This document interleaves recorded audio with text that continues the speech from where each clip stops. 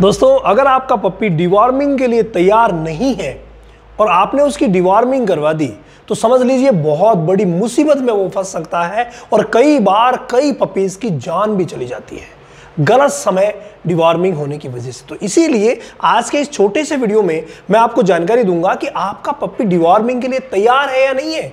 अगर आप डिवॉर्मिंग बिना तैयारी के करवा देते हैं तो भाई मुसीबत हो सकती है। तैयारी में अगर पहली प्रमुख बात मैं करूँ तो वो ये है कि क्या आपका पप्पी एक महीने से कम कम का है, पंद्रह दिन से लेकर के और एक महीने के बीच जो ही उसकी आँखें खुलती है, उससे लेकर के और एक महीने के बीच उसकी उम्र जब रहती है, उस समय उसकी डिवॉर्मिंग होना ज़रूरी होता है, उस समय वो डिवॉर्मिंग के लिए तैयार रहता है। अब हम क्या करते हैं? उस समय गलती कर देते हैं। डिवॉर्मिंग करवाते नहीं हैं। एक महीना बीता दो महीने बीते और जो ही तीन महीने अगर बिना डिवॉर्मिंग के बीत जाते हैं तो उसके पेट में जो कीड़े पैदा हुए थे, वो अब बड़े हो जाते हैं। और कई बार तो हम देखते हैं कि एक्सरे में दिखने लग जाते हैं।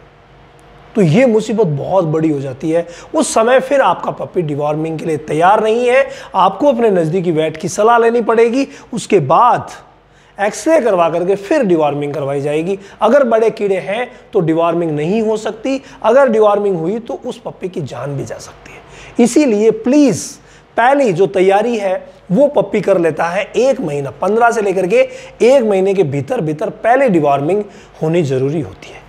फिर दूसरी डिवॉर्मिंग आप एक डेढ़ महीने से करवा सकते हैं, कोई प्रॉब्लम नहीं है। और अगर प्रॉपर शेड्यूल फॉलो करें तो हमारे इसी चैनल पर आपको शेड्यूल का भी वीडियो मिल जाएगा। तो ये काम आप कीजिए, उसी समय आपका पप्पी तैयार रहता है। ये विशेष ध्यान रखिए। नंबर टू अगर आपके पप्पी को पहले से उल्टियाँ हो रही है, दस्त हो रही है, या उसको बुखार है अगर बुखार है, उल्टी और दस्त है, उस समय वो कतई डिवॉर्मिंग के लिए तैयार नहीं है। कई भाई इस समय गलती करते हैं और जो ही डिवॉर्मिंग करवाते हैं, वो और ज़्यादा स्ट्रेस में चला जाता है। क्योंकि डिवॉर्मिंग जब भी करवाते हैं, माने या ना माने डिवॉर्मिंग की वजह से पप्पी स्ट्रेस में ज़रूर जाता है।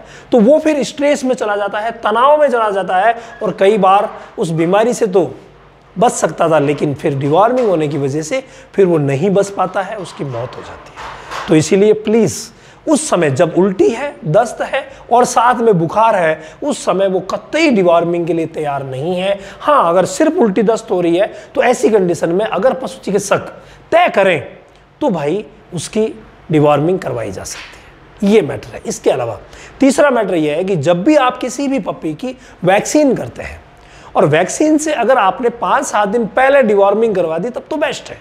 लेकिन आपने वैक्सीन से पहले डिवॉर्मिंग करवाई नहीं और बाद में आप डिवॉर्मिंग करवाने की सोच रहे हैं तो आपका पप्पी डिवॉर्मिंग के लिए तैयार नहीं है।